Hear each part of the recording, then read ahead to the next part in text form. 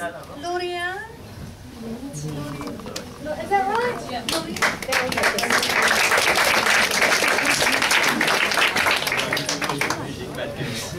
I'm Lauriane, I'm 15 and I come from Taipei uh, I stay at the inn only for four weeks.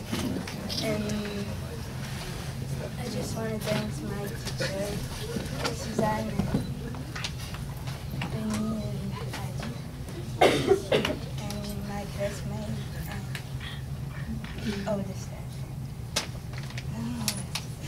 Thank you.